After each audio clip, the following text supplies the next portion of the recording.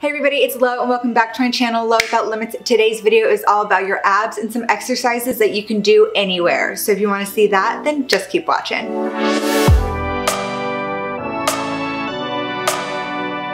Today's video is all about some ab exercises that you can incorporate into your workout routine, whether you're still working out at home, if you are going to the gym, I know that a lot of them are still closed. All the gyms in California are still closed. So I'm still doing some home workouts and one of the easiest things to do at home and doesn't require any equipment at all is your abs. So for this, I'm going to show you some different ab exercises for your upper abs, your lower abs, as well as your obliques.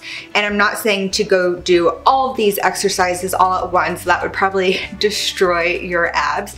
But what you can do is pick your favorite from the upper ab exercises, one from the lower ab exercises, and then one from the oblique exercises, and then do just those three exercises as a circuit, like 15 to 20 reps for three rounds, or the first one three times in a row, and then the second one, and then the third. So however you wanna incorporate that, I'm just going to give you some different ideas that you can use for the different sections of your core. Before I jump into it, I just want to say that a lot of people are always wondering about abs and what's hard about the abs is that you can work them out and develop them as much as you want. Like you can have a nice strong core, some nice developed abs underneath, but if you're not eating well, then you're also gonna have a layer of fat and just a thicker layer covering that up and making it hard to see them. So if you do have good abs, if you do have a strong core and you are working it out a lot, but you're not seeing anything, then maybe look at your diet if you want to be able to see the abs that you're working so hard at building. If you're gonna eat, you're gonna drink, you're gonna live your life. You're not just gonna not eat anything. So you will get a little bloated. So a lot of people, myself included, especially myself, I feel like I work out my abs a lot, but I always kind of have a little something on like my lower abs. It's never fully flat. And it's not because I have a bunch of weight there. It's not because I'm not working out that part of my abs, but it's because maybe I'm just bloated. And for men and women, that can be based on something that you ate. If you just ate something, like right now, I'm feeling a little bloated because I'm digesting. I just had breakfast like 30 minutes ago. Definitely changes based on what you've eaten, especially if you've eaten something that maybe you have an intolerance to and it's just not sitting right in your stomach.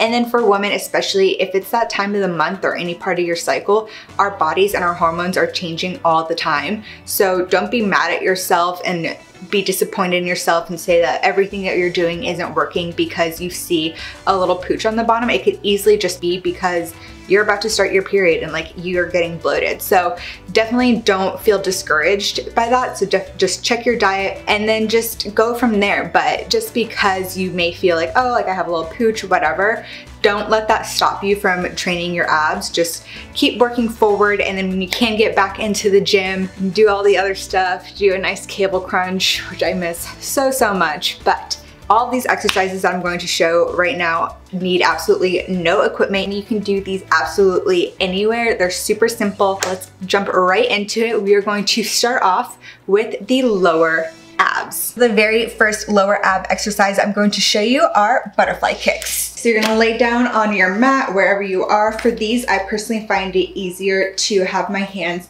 planted on the ground and a little bit under my bum because then it makes sure that my butt's not lifting because you don't want your hips to really do all the exercise. You want the lower abs to feel it the most. So I kind of keep myself super stable by putting my hands a little bit underneath myself. I'm going to extend your legs and start off with a little bit of a hover. I have my toes pointed and you can't really see it in frame.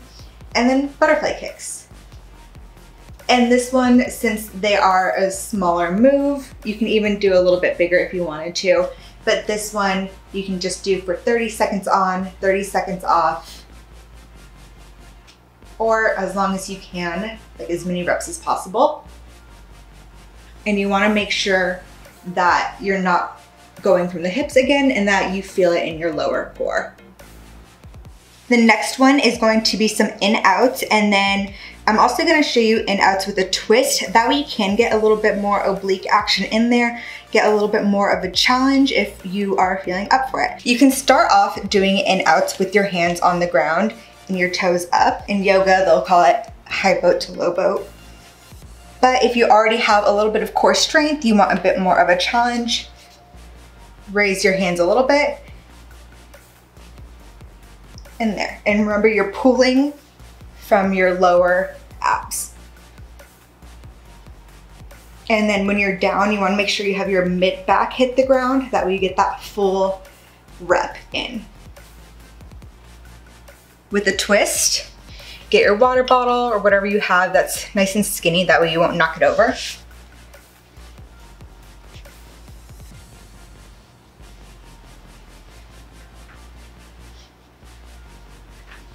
And this just provides a bit more of a challenge and gets some oblique workout in there as well. And make sure you bring your knees as high as you can. The next one for your lower abs, and again, a little bit more of a challenge than the in-outs or the in-outs with twist, are the around the world. So similar thing, but instead of bringing your legs in all the way, you will go around whatever barrier, whatever little thing you have here. Instead of going all the way there,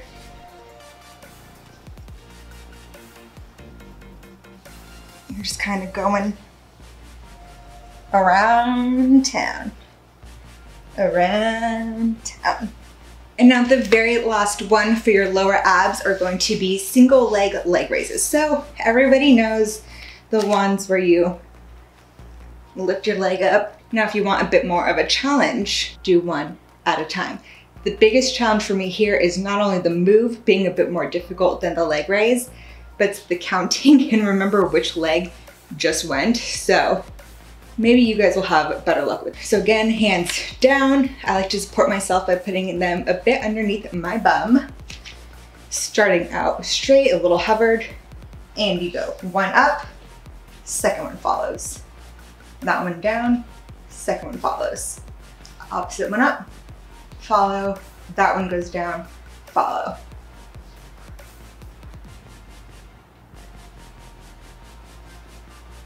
So hopefully you have better luck with remembering what leg just went what because that is where I struggle.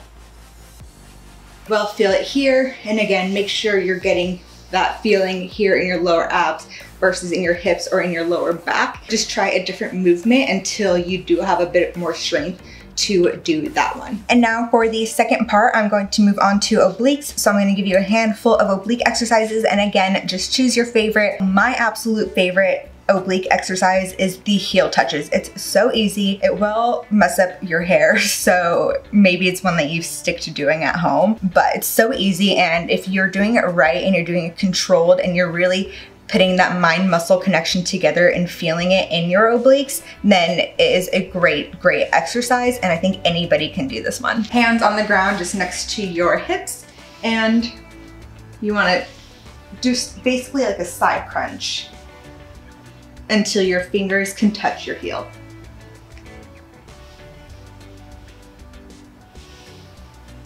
And try not to lift your back off the ground because you don't want this to become a shoulder back exercise. You really want all of the movement to be coming from your obliques. The next one is pretty simple. It is just a side plank, which is really, really good for your obliques. But then to push that a little bit further, I'm going to show you some different versions of the side plank that you can do to really, really challenge yourself if just a side plank is feeling a little bit boring. So First things first, the simple side plank. I like to start on my forearm, especially if you need a bit more control, a bit more balance. Have your feet stacked over here at the end.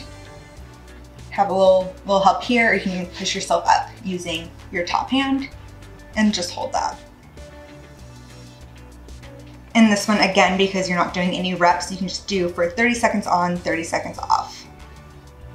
And just repeat on the other side, you want a nice balanced core, you know?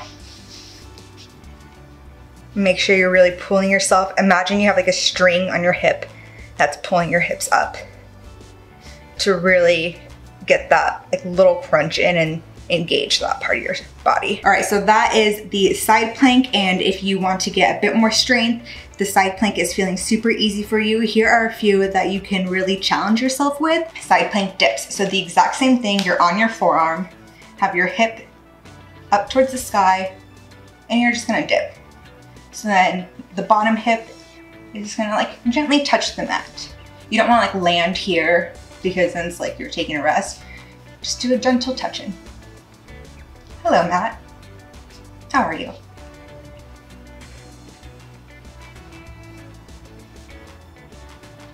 Now you're thinking, side plank dips? Easy. Now, let's do a side plank crunch. It's a similar movement for the obliques as the heel touches, but again, a bit more of a challenging, requires a lot more stabilization, and that stabilization is not only working your obliques for the actual exercise, but just your whole core in general. It's toasty in here. All right, so for this one, you're gonna have forearm down again, feet stacked again, top arm you're gonna point out, and you're just gonna crunch.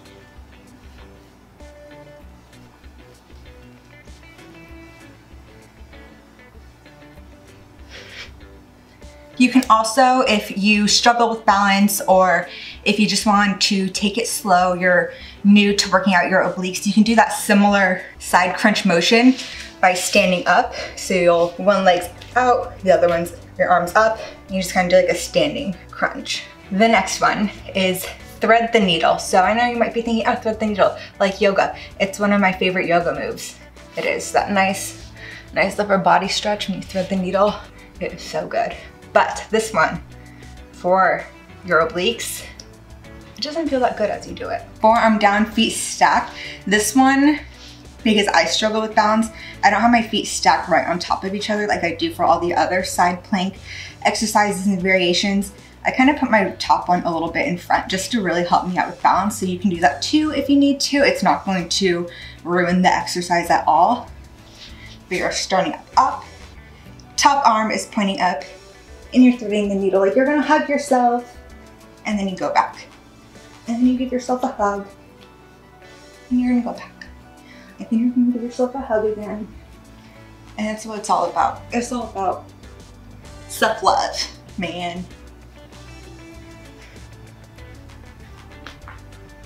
And you really wanna be turning from the oblique too.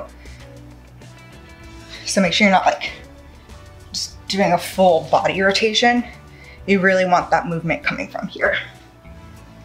And lastly, and my little camera just died, so you will not be getting that better angle for this one, but it is the Russian twist. So similar to the boat pose, you're gonna have your feet off the ground, arms together. If you really wanna challenge, get a weight or something, but again, this is like a weight-free, no equipment needed ab exercise, but feet up and twist. And again, remember to twist from the obliques and not from the hips. You don't want your legs swinging about. If it helps you, can cross your ankles and twist. If you have like a medicine ball, then you can do like, you pick up on one side, put down on the other, but again, no equipment. And that is it for obliques.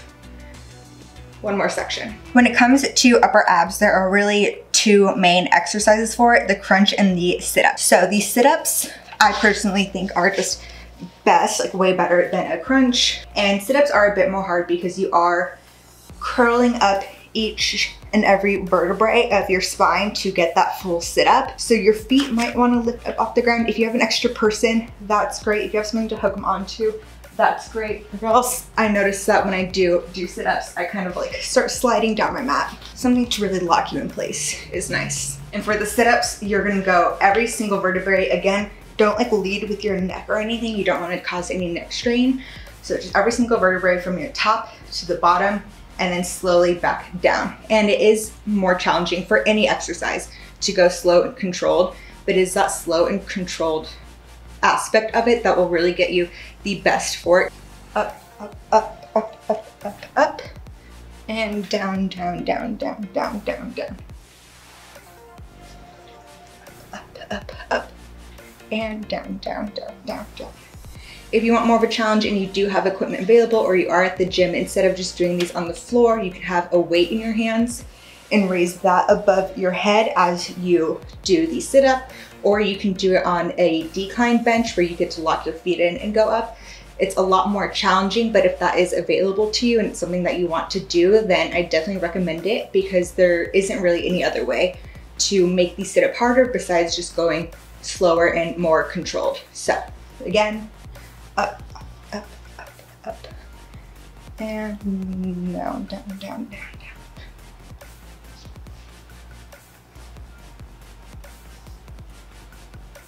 And now for the sit-ups cousin, the crunch. So again with the crunch, you don't wanna be going with your head because then you're just working out your neck, you're causing more neck strain.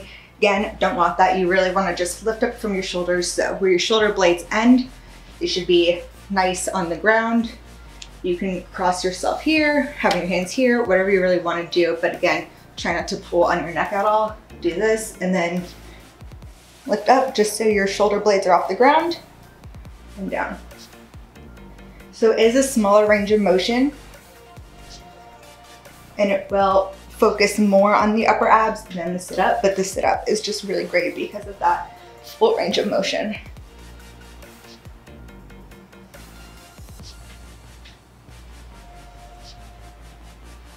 And when you're down, you might feel your stomach just kind of expand, rest a little bit, and then you feel that tightness right between your ribs when you're at the top of it. So really take that in, both the top and the bottom. And again, just don't rush through it. So you'll feel the contraction all right here and then you'll release it. Because if you are just rushing through it and doing a hundred million abs like this, yes, you are getting a lot done and it might feel like you're getting a lot done because it's so tiring because you're going so intense but you're not really feeling the contraction, the expansion of the muscles that will truly help you develop your abs and also just get you more in tune with your body and in tune with the muscles. So when you do get back into the gym and you're doing squats and deadlift, you wanna be able to feel your core and really brace yourself. And by taking movements nice and slow and controlled, you can really get a sense of just your body in general and what it can do. Now, if you wanna do crunches, but give yourself a little challenge, you can just lift your legs up to where they're a tabletop and do some tabletop crunches. And this way you're also feeling it in the lower abs as you're working out the upper abs because just having to keep your legs balanced and upright here, again, you can cross them if it helps you at all, not swing them around. But by keeping your legs up, you're really engaging the lower part of your abs.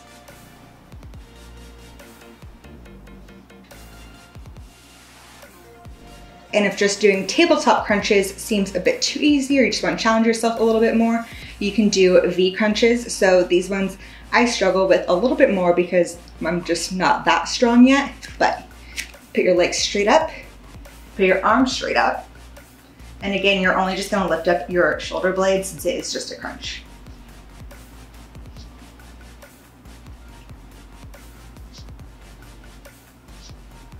Well, there you have it. Those are some of the best and my favorite exercises that you can do for your upper abs, your lower abs, and your obliques. Again, you don't need to do them all as your workout. Just pick one from each category and do three sets of that. Do a little circuit with them. Just choose your favorites and you can make them as challenging or as easy as you want with the different variations just with your body weight. They don't require any equipment, so you can still do them at home since everything's still closed. And when the gyms do open, you can do them at gyms. When you travel, you can do them in your hotel room.